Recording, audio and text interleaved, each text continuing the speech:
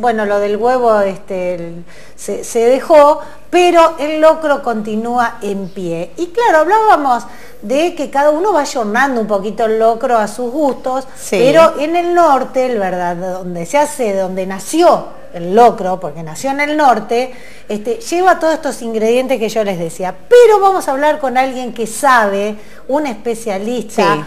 Juan. aparte, perdón, el locro, a ver, no hay por qué hacerlo en una fecha patria es una buena comida ¿eh? con aporte calórico para el invierno. Bueno, pues hacer en cualquier momento. Son, son tradiciones que en fechas patrias se recuerdan. Entonces, eh, lo tenemos a Juan. Eh, Juan Echeverría. Juan Echeverría. ¿Cómo estás, Juan? Hola, Ceci. Hola, Andrea. Hola, tanto tiempo. ¿Cómo estás? Muy bien, todo muy bien. Bueno, sabemos que preparás un locro muy rico, nos ha dicho Beto, nuestro compañero. Y bueno, queríamos conocer básicamente cómo se prepara esto y si es fundamental o no ponerle cuero de chancho. Bien, eh, sí, bueno, estuvimos haciendo con, otro amigo eh, cocinero también, Ramiro Carrozzi, estuvimos haciendo los dos un locro eh, tradicional, como el que hicimos toda la vida, digamos, lo que hemos aprendido. y el nuestro en particular lleva cuerito de chancho, y creo que el de la mayoría. ¿Con pelo o sin pelo? No, sin pelo, claramente. bueno, bueno, yo en el norte me lo dieron con el cuero, cuero, con pelo. Ah, claro, con pelo. ¿Patitas de cerdo? Patitas de cerdo también, panceta salada. Nosotros le agregamos un poquito de panceta ahumada para darle un poquito más de sabor ahumado. Ajá. Eh, y después, claro, las legumbres, eh, esto también algunos le ponen eh, por otros payares, algunos le ponen por otros colorados, otros negros, o no le ponen algunos le ponen garbanzo, otros no. Lo que sí lleva es maíz blanco, algunos lo pican a mano, otros compran el cremoso, otros compran el maíz y lo hidratan. Eh, en el caso nuestro, obviamente hidratamos el, maíz, le hacemos una cocción previa por las cantidades que hacemos.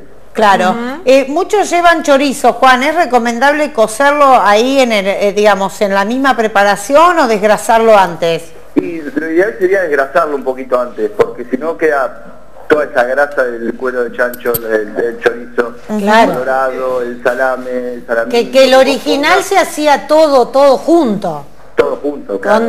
cuando lo comes es una bomba. Claro, y después donde se enfriaba le veías cómo Porque además el original original lleva grasa. Lleva grasa, sí, exacto.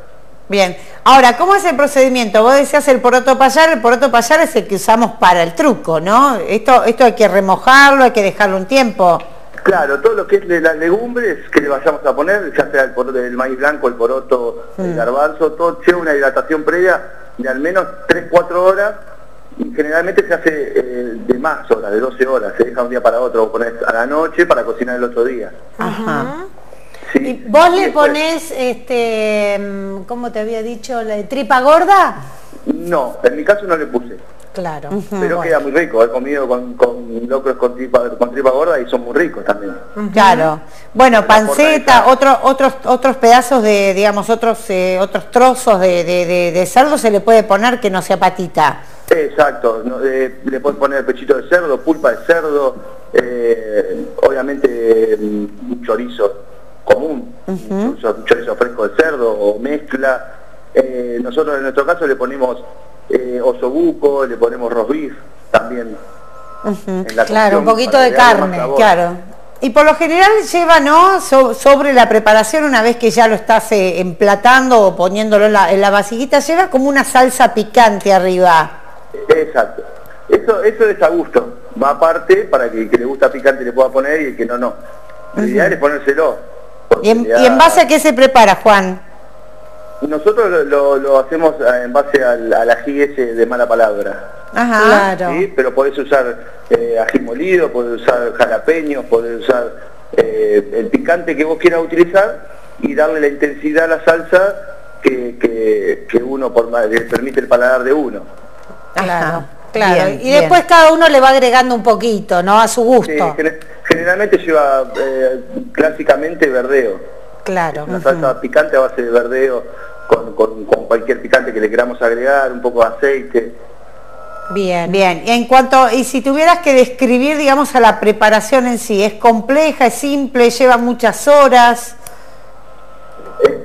Es, sencilla, eh, lo que sí lleva una previa organización, digamos, para, para lo que se va a hacer. Claro, lleva muchos ingredientes.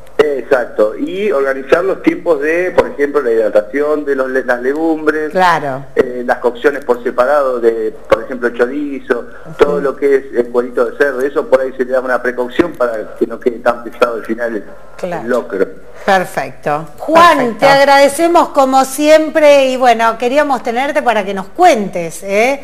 Este, estamos hablando de los locros, el original y cómo después cada uno lo va ayornando de acuerdo a la zona y a los gustos también.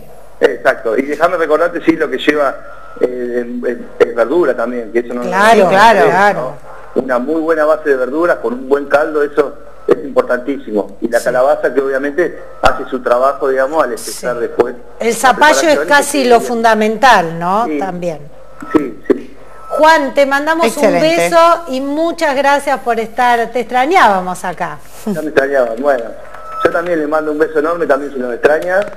Bueno, un saludo para todos. Gracias, Juan. Un Buena jornada. Gracias, beso.